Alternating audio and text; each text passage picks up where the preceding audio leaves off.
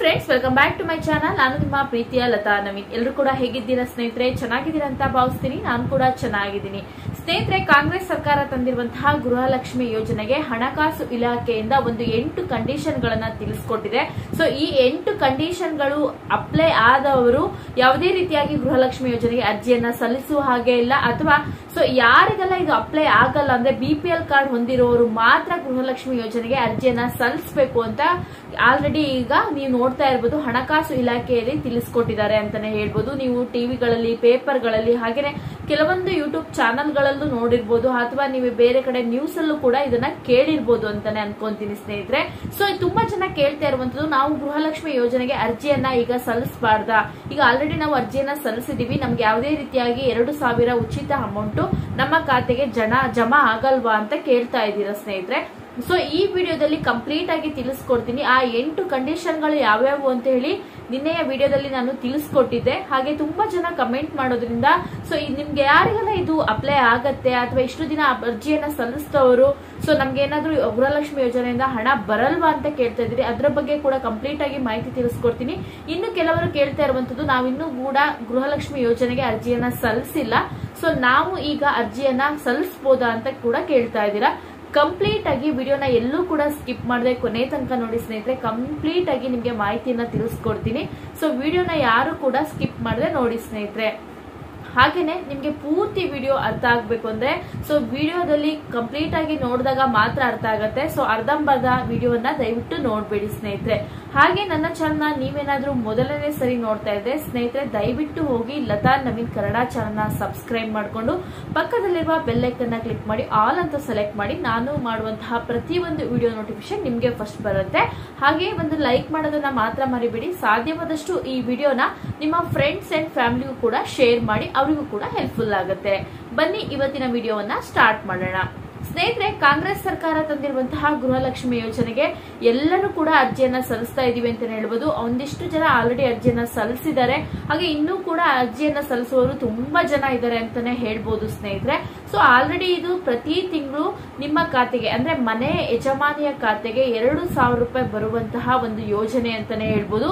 ತುಂಬಾ ಜನ ಇದನ್ನ ಆಸೆಯನ್ನ ಇಟ್ಕೊಂಡಿದ್ದಾರೆ ಅಂತಾನೆ ಹೇಳ್ಬೋದು. ಪ್ರತಿ ತಿಂಗಳು ಎರಡ್ ಸಾವಿರ ರೂಪಾಯಿ ಬರುತ್ತೆ. ಏನಾದ್ರೂ ಖರ್ಚಿಗಾಗತ್ತೆ ಅಥವಾ ಏನಾದ್ರೂ ಒಂದು ಮಕ್ಕಳು ಫೀಸಿಗೆ ಆಗತ್ತೆ ಅನ್ನೋದು ತುಂಬಾ ಜನ ಎಲ್ಲರ ಆಸೆ ಅಂತಾನೆ ಹೇಳ್ಬೋದು. ಒಂದು ಒಂದು ಉಪಯೋಗಕ್ಕೆ ಆಗತ್ತೆ ಅನ್ನೋದು ಒಂದು ಎಲ್ಲಾ ಮಹಿಳೆಯರಿಗೂ ಗೊತ್ತಿರುವಂತ ಒಂದು ವಿಚಾರ ಅಂತಾನೆ ಹೇಳ್ಬೋದು ಸ್ನೇಹಿತರೆ. ಆದ್ರೆ ಇಲ್ಲಿ ಕೇಂದ್ರ ಇಲಾಖೆ ಏನಿದೆ?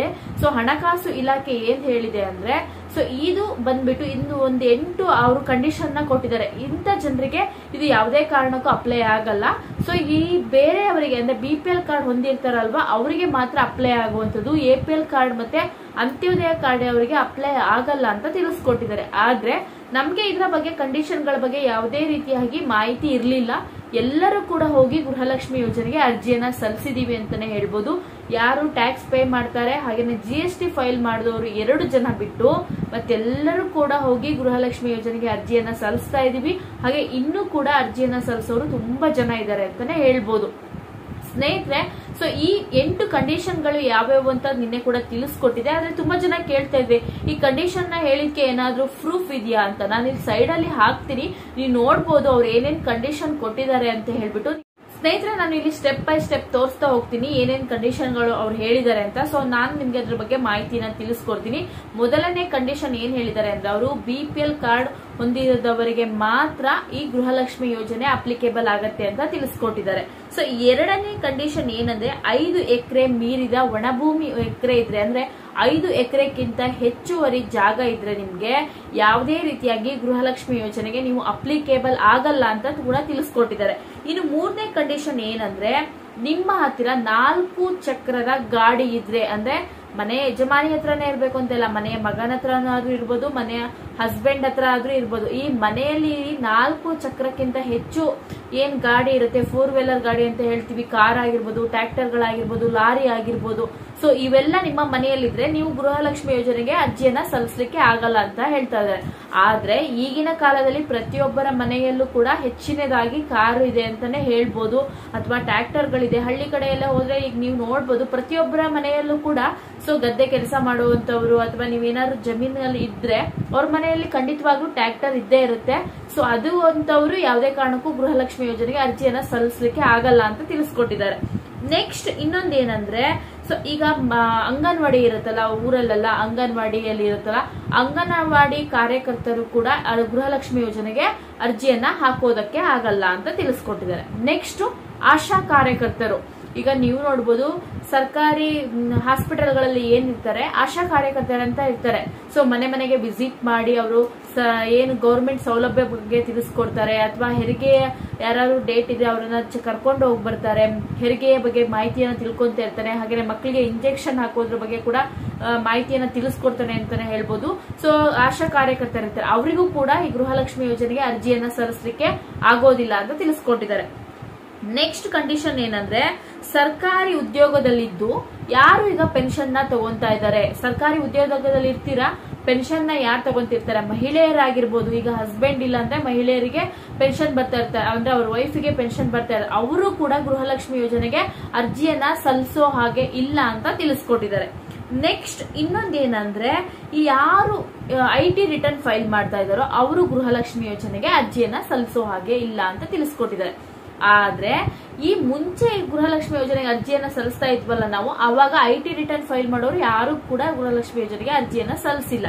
ನೆಕ್ಸ್ಟ್ ನೀವು G S T return file ಮಾಡ್ತಾ ಇದ್ರು ಕೂಡ ಗೃಹಲಕ್ಷ್ಮಿ ಯೋಜನೆಗೆ ಅರ್ಜಿಯನ್ನು ಸಲ್ಲಿಸೋ ಹಾಗೆ ಇಲ್ಲ ಅಂತ ತಿಳಿಸ್ಕೊಟ್ಟಿದ್ದಾರೆ. ಅವಾಗ್ಲೂ ಕೂಡ ಯಾರು ಐ ಟಿ ರಿಟರ್ನ್ ಮತ್ತೆ G S T return file ಮಾಡುವಂತವರು Gruhalakshmi ಯೋಜನೆಗೆ ಅರ್ಜಿಯನ್ನ ಸಲ್ಲಿಸ್ತಾ ಇರಲಿಲ್ಲ. ನಮಗೆ ಗೊತ್ತಿರುವಂತಹ ಕಂಡೀಷನ್ ಇವೆರಡೇ ಆಗಿತ್ತು. ನೆಕ್ಸ್ಟ್ ಬಂದ್ಬಿಟ್ಟು ನೀವು ಯಾರೀಗ ಪ್ರಮೋಷನ್ ಮಾಡ್ತಾರಲ್ವಾ ಪ್ರಮೋಷನ್ ಟ್ಯಾಕ್ಸ್ ಯಾರು ಪೇ ಮಾಡ್ತಾರೋ, ಅವರು ಕೂಡ ಯಾವುದೇ ಕಾರಣಕ್ಕೂ ಟ್ಯಾಕ್ಸ್ನ ಪೇ ಮಾಡ್ತಾ ಇರೋದು. ಅಂದ್ರೆ ಪ್ರಮೋಷನ್ ಟ್ಯಾಕ್ಸ್ ಪೇ ಮಾಡ್ತಾ ಇರೋರು ಕೂಡ ಗೃಹಲಕ್ಷ್ಮಿ ಯೋಜನೆಗೆ ಅರ್ಜಿಯನ್ನ ಸಲ್ಲಿಸೋ ಹಾಗಿಲ್ಲ. ನೆಕ್ಸ್ಟ್ ಏನಿರುತ್ತೆ, ಈ ಬಿ ಪಿ ಎಲ್ ಕಾರ್ಡ್ ಇರೋರು ಮಾತ್ರ ಗೃಹಲಕ್ಷ್ಮಿ ಯೋಜನೆಗೆ ಅರ್ಜಿಯನ್ನ ಸಲ್ಲಿಸಬಹುದು ಅಂತ ಹೇಳಿದ್ದಾರೆ. ಯಾವುದೇ ರೀತಿಯಾಗಿ ಎ ಪಿ ಎಲ್ ಕಾರ್ಡ್ ಇರೋರು ಕೂಡ ಗೃಹಲಕ್ಷ್ಮಿ ಯೋಜನೆಗೆ ಅರ್ಜಿ ಸಲ್ಲಿಸೋ ಹಾಗಿಲ್ಲ. ಜೊತೆಗೆ ಅಂತ್ಯೋದಯ ಕಾರ್ಡ್ ಇರೋರು ಕೂಡ ಗೃಹಲಕ್ಷ್ಮಿ ಯೋಜನೆಗೆ ಅರ್ಜಿಯನ್ನ ಸಲ್ಲಿಸೋ ಹಾಗಿಲ್ಲ ಅಂತ ತಿಳಿಸ್ಕೊಟ್ಟಿದ್ದಾರೆ. ಯಾಕೆಂದ್ರೆ, ಈಗ ಬಿ ಪಿ ಎಲ್ ಕಾರ್ಡ್ ಅಂದ್ರೆ ಬಿ ಪಿ ಎಲ್ ಕಾರ್ಡ್ಗಿಂತ ಕ- ಕಡಿಮೆ ಇರುವಂತದ್ದು ಸೊ ಅಂತ್ಯೋದಯ ಕಾರ್ಡ್ ಅಂದ್ರೆ ಒಂದು ಲಕ್ಷಕ್ಕಿಂತ ಅಧಿಕ ಕಡಿಮೆ ಆದಾಯ ಇರೋರು ಅಂತ್ಯೋದಯ ಕಾರ್ಡ್ ಅಂತ ಸರ್ಕಾರನೇ ಗಣನೆಗೆ ತಗೊಂಡಿದೆ. ಬಟ್ ಯಾಕೆ ಅವರು ಕೂಡ ಅಪ್ಲಿಕೇಶನ್ ಹಾಕೋಂಗಿಲ್ಲ ಅಂತ ಕೂಡ ಸರ್ಕಾರ ತಿಳಿಸ್ಕೊಟ್ಟಿದೆ. ಸೊ ಆದ್ರೆ ಈಗ ಏನಂದ್ರೆ ಎಲ್ಲರೂ ಕೂಡ ಹೋಗಿ ಆಲ್ರೆಡಿ ಅರ್ಜಿಯನ್ನ ಸಲ್ಲಿಸಿದೀವಿ ಬಿ ಪಿ ಎಲ್ ಕಾರ್ಡ್ ಇರ್ಬೋದು ಎ ಕಾರ್ಡ್ ಇರ್ಬೋದು, ಅಂತ್ಯೋದಯ ಕಾರ್ಡ್ ಇರ್ಬೋದು, ಎಲ್ಲರೂ ಕೂಡ ಗೃಹಲಕ್ಷ್ಮಿ ಯೋಜನೆಗೆ ಅರ್ಜಿಯನ್ನ ಸಲ್ಲಿಸಿದೀವಿ ಬಟ್ ಈ ಎಂಟು ಕಂಡೀಷನ್ ಗಳನ್ನ ಹೇಳಿರುವಂತದ್ದು ಹಣಕಾಸು ಇಲಾಖೆಯವರು ಸೊ ಮುಂಚೆನೆ ತಿಳಿಸ್ಕೊಟ್ಟಿದ್ರೆ ಅಂದ್ರೆ ಅಷ್ಟು ಜನಕ್ಕೆ ಅಮೌಂಟ್ನ ಕೊಡ್ಲಿಕ್ಕೆ ಆಗೋದಿಲ್ಲ. ಅಂದ್ರೆ ಈಗ ಐದು ವರ್ಷ ಇದೆ ಅಂದ್ರೆ ಐದು ವರ್ಷ ಎಲ್ಲರಿಗೂ ಕೂಡ ಪ್ರತಿ ತಿಂಗಳು ಅಮೌಂಟ್ ಅನ್ನ ಕೊಡೋದಕ್ಕೆ ಆಗಲ್ಲ. ಈಗ ಒಂದು ವರ್ಷಕ್ಕೆ ಅಂದ್ರೆ ಮೂವತ್ತು ಸಾವಿರ ಕೋಟಿಗಿಂತ ಜಾಸ್ತಿ ಒಂದು ವರ್ಷದ ಈ ಗೃಹಲಕ್ಷ್ಮಿ ಯೋಜನೆಗೆ ಅಮೌಂಟ್ ಅನ್ನ ಟ್ರಾನ್ಸ್ಫರ್ ಮಾಡ್ಬೇಕಂತೆ. ಎಲ್ಲರ ಖಾತೆಗೂ, ಮನೆ ಯಜಮಾನಿ ಖಾತೆಗೆ ಏನ್ ಎರಡೆರಡು ಸಾವಿರ ರೂಪಾಯಿ ಹಾಕ್ತಾರೋ ಅದು ಒಂದ್ ಮೂವತ್ತು ಸಾವಿರ ಕೋಟಿಗಿಂತ ಜಾಸ್ತಿ ಆಗತ್ತೆ ಅಂತೆ ಆದಾಯ. ಅಂದ್ರೆ ನೀವು ಖರ್ಚಾಗುವಂತ ಎಲ್ಲರ ಅಕೌಂಟಿಗೆ ಹಾಕುವಂತ ಅಮೌಂಟ್ ಅದಕ್ಕೋಸ್ಕರ ಅದನ್ನ ಕಡಿಮೆ ಮಾಡ್ಬೇಕು ಅನ್ನೋದಕ್ಕೆ ಇಷ್ಟು ಅವರು ಮಾರ್ಗ, ಸೊ ಏನ್ ಕಂಡೀಷನ್ ಗಳನ್ನ ಹಾಕಿದ್ರಂತೆ. ಬಟ್ ನಮಗೆ ಗೊತ್ತಿರುವಂತಹ ಕಂಡೀಷನ್ಗಳು so G S T file ಮಾಡೋರು ಐ ಟಿ ರಿಟರ್ನ್ ಮಾಡೋರು ಮಾತ್ರ ಹಾಕಬಾರ್ದು ಅಂತ ಇತ್ತು. ಆದ್ರೆ ಇದರಲ್ಲಿ ನಮ್ಮ ತಪ್ಪೇನಿಲ್ಲ ಅಂತಾನೆ ಹೇಳ್ಬೋದು. ಯಾಕೆ ಇದ್ರ ಬಗ್ಗೆ ನಮಗೆ ಮಾಹಿತಿ ಕೂಡ ಗೊತ್ತಿರಲಿಲ್ಲ. ಎಲ್ಲರೂ ಕೂಡ ಹೋಗಿ ಗೃಹಲಕ್ಷ್ಮಿ ಯೋಜನೆಗೆ ಅರ್ಜಿಯನ್ನ ಸಲ್ಲಿಸಿದೀವಿ. ಮತ್ತೆ ತುಂಬಾ ಜನ ಕೇಳುವಂತವ್ರು, ನಾವು ಇನ್ನು ಮುಂದೆ ಗೃಹಲಕ್ಷ್ಮಿ ಯೋಜನೆಗೆ ಅರ್ಜಿಯನ್ನ ಸಲ್ಲಿಸಬಾರ್ದ ಅಂತ ಕೇಳ್ತಾ ಇದ್ದಾರೆ. ಹಾಗೇನಿಲ್ಲ ಸ್ನೇಹಿತರೆ, ಪ್ರತಿಯೊಬ್ರು ಕೂಡ ಹೋಗಿ ಗೃಹಲಕ್ಷ್ಮಿ ಯೋಜನೆಗೆ ಯಾರು ಐ ಟಿ ನಮ್ಗೆ ಏನ್ ಮಾಹಿತಿ ಗೊತ್ತು, ಎಲ್ಲರೂ ಕೂಡ ಹೋಗಿ ಅರ್ಜಿಯನ್ನ ಸಲ್ಲಿಸಿ ಅಂದ್ರೆ ಎ ಪಿ ಎಲ್ ಕಾರ್ಡ್ ಇರ್ಬೋದು ಬಿ ಪಿ ಎಲ್ ಕಾರ್ಡ್ ಇರ್ಬೋದು, ಅಂತ್ಯೋದಯ ಕಾರ್ಡ್ ಇರ್ಬೋದು. ಸೊ ಎಲ್ಲರೂ ಕೂಡ ಹೋಗಿ ಅರ್ಜಿಯನ್ನ ಸಲ್ಲಿಸಿ ನಮಗೆ ಬಂದಿರುವಂತಹ ಫಸ್ಟ್ ನ್ಯೂಸ್ ಏನಿದೆ, ಇದೇ ಆಗಿತ್ತಲ್ವಾ? ಹೋಗಿ ಎಲ್ಲರೂ ಅರ್ಜಿಯನ್ನ ಸಲ್- ಸಲ್ಲಿಸಿ ಹಾಗೆ ಸ್ವೀಕೃತಿ ಪತ್ರವನ್ನ ಕೂಡ ಪಡೆದುಕೊಳ್ಳಿ. ಸೊ ನಿಮ್ಗೆ ಅಮೌಂಟ್ ಬರತ್ತೋ ಇಲ್ವೋ ಎಲ್ಲರಿಗೂ ಅನ್ನೋದು ಸೊ ಈ ತಿಂಗಳು ಅಂದ್ರೆ ಇವತ್ತು ಹನ್ನೇ ತಾರೀಕು, ಆಗಸ್ಟ್ ಹದಿನಾರನೇ ತಾರೀಕು ನಮ್ಮ ಅಕೌಂಟಿಗೆ ಅಮೌಂಟ್ ಕ್ರೆಡಿಟ್ ಆದಾಗ ಗೊತ್ತಾಗತ್ತೆ ಅಮೌಂಟ್ನ ಹಾಕ್ತಾರೋ ಇಲ್ವಾ ಅನ್ನೋದು. ಆದ್ರೆ ಲಕ್ಷ್ಮಿ ಹೆಬ್ಬಾಳ್ಕರ್ ಮೇಡಮ್ ಹೇಳಿದ್ದಾರೆ ಪ್ರತಿಯೊಬ್ಬರ ಖಾತೆಗೂ ಎಲ್ಲರಿಗೂ ಕೂಡ, ಅಂದ್ರೆ ಮನೆ ಯಜಮಾನಿ ಯಾರಿರ್ತಾರೋ, ಗೃಹಲಕ್ಷ್ಮಿ ಯೋಜನೆಗೆ ಯಾರು ಅರ್ಜಿಯನ್ನ ಸಲ್ಲಿಸಿರ್ತಾರೋ ಅವರ ಖಾತೆಗೆ ನಾವು ಎರಡು ಸಾವಿರ ರೂಪಾಯಿ ಅಮೌಂಟ್ ಅನ್ನ ಹಾಕೇ ಹಾಕ್ತೀವಿ ಅಂತ ಹೇಳಿದ್ದಾರೆ. ಇದನ್ನ ನಾವು ಮುಂಚೆನೆ ಡಿಸೈಡ್ ಮಾಡಿದೀವಿ. ಮುಂಚೆನೆ ನಾವು ಚೆಕ್ ಕೂಡ ಮಾಡಿದ್ವಿ. ಪ್ರತಿಯೊಬ್ಬರ ಖಾತೆಗೂ ನಾವು ಅಮೌಂಟ್ ಅನ್ನ ಎರಡ್ ಸಾವಿರ ರೂಪಾಯಿ ಹಾಕೇ ಹಾಕ್ತೀವಿ ಅಂತ ಕೂಡ ತಿಳಿಸ್ಕೊಟ್ಟಿದ್ದಾರೆ. ಅದಕ್ಕೋಸ್ಕರ ನೀವು ಪ್ರತಿಯೊಬ್ಬರು ಇನ್ನು ಕೂಡ ಗೃಹಲಕ್ಷ್ಮಿ ಯೋಜನೆಗೆ ಯಾರೆಲ್ಲ ಅರ್ಜಿ ಹಾಕಿಲ್ಲ, ಎಲ್ಲರೂ ಕೂಡ ಹೋಗಿ ಅರ್ಜಿಯನ್ನ ಸಲ್ಲಿಸಿ ನಿಮ್ಮ ಹತ್ರ ಸ್ವೀಕೃತಿ ಪತ್ರವನ್ನ ಇಟ್ಕೊಂಡಿರಿ. ಯಾವುದೇ ಕಾರಣಕ್ಕೂ ಮಿಸ್ ಮಾಡಬೇಡಿ ಸ್ನೇಹಿತರೆ. ಸೊ ಈ ತರ ನ್ಯೂಸ್ ಬಂದಿದೆ. ನಾವು ಅರ್ಜಿಯನ್ನೇ ಹಾಕೋದಿಲ್ಲ. ಸೊ ಅಮೌಂಟ್ ಬರುತ್ತೋ ಇಲ್ಲೋ ಅಂತ ಡೌಟ್ ಅಲ್ಲಿ ಇರಲಿಕ್ಕೆ ಹೋಗಬೇಡಿ. ಸೊ ಯಾಕೆ ಅಂದ್ರೆ ಇನ್ನೂ ಕೂಡ ನಮಗೆ ಅಧಿಕೃತವಾಗಿ ಘೋಷಣೆಯನ್ನ ಮಾಡಿಲ್ಲ. ಸೊ ಈಗ ಆಲ್ರೆಡಿ ಈಗ ತಿಳಿಸ್ಕೊಟ್ಟಿರುವಂತದ್ದು ಹಣಕಾಸು ಇಲಾಖೆ ಅಂತಾನೆ ಹೇಳ್ಬೋದು. ಅದಕ್ಕೋಸ್ಕರ ಹೋಗಿ ಇನ್ನು ಯಾರೆಲ್ಲ ಅರ್ಜಿ ಸಲ್ಲಿಸಿಲ್ಲ, ದಯವಿಟ್ಟು ಹೋಗಿ ಅರ್ಜಿಯನ್ನ ಸಲ್ಲಿಸಿ. ಯಾರು ಕೂಡ ಕನ್ಫ್ಯೂಸ್ ಆಗಬೇಡಿ. ಈ ರೀತಿ ಕಂಡೀಷನ್ಗಳಿದೆ ಅಂತ ತಿಳಿಸ್ಕೊಟ್ಟಿದ್ದಾರೆ. ಸೊ ಅರ್ಜಿಯನ್ನ ಸ್ಟಾಪ್ ಕೂಡ ಮಾಡಿಲ್ಲ. ಎಲ್ಲರೂ ಕೂಡ ಹೋಗಿ ನಿಮ್ಮ ಮನೆ ಹತ್ತಿರವಂತಹ ಸೊ ಬ್ಯಾಂಗ್ಳೂರ್ ಒಂದಾಗಿರ್ಬೋದು ಕರ್ನಾಟಕ ಒಂದಾಗಿರ್ಬೋದು, ಅಥವಾ ವಾಕ್ಪೂಜೆ ಸೆಂಟರ್ ಕೇಂದ್ರಗಳಾಗಿರ್ಬೋದು, ಅಥವಾ ಬೆಂಗಳೂರು ಒಂದಿರ್ಬೋದು, ಇಲ್ಲೆಲ್ಲ ಹೋಗ್ಬಿಟ್ಟು ಗೃಹಲಕ್ಷ್ಮಿ ಯೋಜನೆಗೆ ಅರ್ಜಿಯನ್ನ ಸಲ್ಲಿಸಬಹುದು ಸ್ನೇಹಿತರೆ. ಸೊ ಇಷ್ಟೇ ಈಸಿ ಆಗಿರುವಂತದ್ದು ಸೊ ಈ ಕಂಡೀಷನ್ ಗಳನ್ನ ಹೇಳಿದ್ದಾರೆ ಬಟ್ ಇಲ್ಲಿ ಈ ತರ ಕೊಡ್ಲಿಕ್ಕೆ ಹೋದ್ರೆ ಸೊ ಒಂದು ಮುಕ್ಕಾಲ್ ಪರ್ಸೆಂಟ್ ಜನರಿಗೆ ಗೃಹಲಕ್ಷ್ಮಿ ಯೋಜನೆ ಅಪ್ಲಿಕೇಬಲ್ ಆಗಲ್ಲ ಅಂತಾನೆ ಹೇಳ್ಬೋದು. ಸೊ ಯಾಕೆ ಅಂದ್ರೆ ಎಲ್ಲರ ಮನೆಯಲ್ಲೂ ಈ ರೀತಿ ಫೆಸಿಲಿಟಿಗಳು ಇದ್ದೇ ಇರುತ್ತೆ. ಹಾಗೇನೆ ಪ್ರತಿಯೊಬ್ಬರು ಮನೆಯಲ್ಲೂ ಕೂಡ ಒಂದಲ್ಲ ಒಂದು ರೀಸನ್ ಅಲ್ಲಿ ಇದ್ರೆ. ಸೊ ಈ ತರ ಅಪ್ಲಿಕೇಬಲ್ ಯಾರಿಗೂ ಕೂಡ ಆಗೋದಿಲ್ಲ. ಅದಕ್ಕೋಸ್ಕರ ನಾನು ಹೇಳ್ತಾ ಇರೋದು, ಎಲ್ಲರೂ ಕೂಡ ಹೋಗಿ ಗೃಹಲಕ್ಷ್ಮಿ ಯೋಜನೆಗೆ ಎ ಪಿ ಎಲ್ ಇರ್ಲಿ ಬಿ ಪಿ ಎಲ್ ಇರ್ಲಿ ಅಂತೋದಯ ಕಾರ್ಡ್ ಇರ್ಲಿ, ಎಲ್ಲರೂ ಕೂಡ ಹೋಗಿ ಅರ್ಜಿಯನ್ನ ಸಲ್ಲಿಸಿ ಸ್ನೇಹಿತರೆ. ಸೊ ಆಲ್ರೆಡಿ ಈಗ ಲಕ್ಷ್ಮಿ ಹೆಬ್ಬಾಳ್ಕರ್ ಮೇಡಮ್ ಅವರು ತಿಳಿಸ್ಕೊಟ್ಟಿದ್ದಾರೆ. ಎಲ್ಲರಿಗೂ ಕೂಡ ಗೃಹಲಕ್ಷ್ಮಿ ಯೋಜನೆಯ ನಾವು ಬೆನಿಫಿಟ್ಸ್ನ ಕೊಡ್ಸೇ ಕೊಡಿಸ್ತೀವಿ ಅಂತ ಹೇಳಿ. ಸೊ ಬನ್ನಿ ಕಾದು ನೋಡೋಣ. ಅಲ್ಲಿವರೆಗೂ ಸೊ ನಮಗೆ ಯಾವುದೇ ರೀತಿಯಾಗಿ ಅಮೌಂಟ್ ಬರದೇ ಇಲ್ಲ ಅಂತ ಹೇಳಲಿಕ್ಕೂ ಕೂಡ ನಾವು ಆಗೋದಿಲ್ಲ. ಯಾಕೆ ಅಂದ್ರೆ ಎಲ್ಲದೂ ಕೂಡ ಅವರ ಕೈಯಲ್ಲಿರುತ್ತೆ ಅಲ್ವಾ? ಅದಕ್ಕೋಸ್ಕರ. ಸೊ ಅವರು ಕೂಡ ಹೇಳಿದರೆ ನಾವು ಖಂಡಿತವಾಗ್ಲೂ ಅಮೌಂಟ್ ಅನ್ನ ಟ್ರಾನ್ಸ್ಫರ್ ಮಾಡೇ ಮಾಡ್ತೀವಿ ಅಂತ ನೋಡೋಣ. ಈಗ ಯಾರೆಲ್ಲ ಗೃಹಲಕ್ಷ್ಮಿ ಯೋಜನೆಗೆ ಅರ್ಜಿಯನ್ನು ಸಲ್ಲಿಸಿದರೋ ಅವರಿಗೆ ಈಗ ಹದಿನಾರನೇ ತಾರೀಕು ಅಮೌಂಟ್ ಕ್ರಿಯೇಟ್ ಆಗುತ್ತೆ ಅಂತ ಹೇಳಿದಾರಲ್ವಾ? ಕ್ರೆಡಿಟ್ ಆಗುತ್ತೆ ಅಂತ. ಸೊ ಕಾದು ನೋಡೋಣ ಸ್ನೇಹಿತರೆ ಅಲ್ವಾ? ಸೊ ಈ ಇನ್ಫಾರ್ಮೇಶನ್ ವಿಡಿಯೋ ನಿಮ್ಗೆ ಇಷ್ಟ ಆಗಿರುತ್ತೆ ಅಂತ ಭಾವಿಸ್ತೀನಿ.